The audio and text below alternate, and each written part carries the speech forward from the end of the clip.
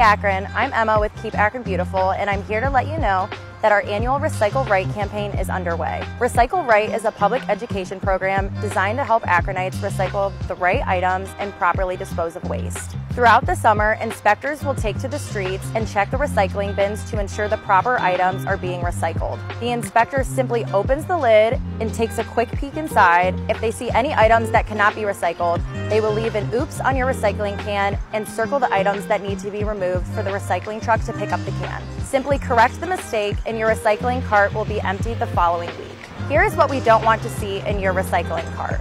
No bagged recyclables, no food containers, no plastic wrap, no clothing, no yard waste, no bulky items, and no foam packaging. We simply cannot recycle those items. Let's all work together to keep Akron and the world a greener place to live.